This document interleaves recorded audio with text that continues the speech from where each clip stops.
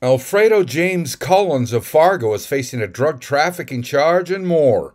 According to court documents, Collins was already on probation when officers conducted a narcotics enforcement operation at his residence on October 2nd at an apartment at number 6 11th Street South in Fargo. He was detained exiting the building in possession of a jewelry bag containing suspected fentanyl. Then, a search of his vehicle and apartment also found M30 fentanyl pills, a small amount of meth, and 9mm handgun.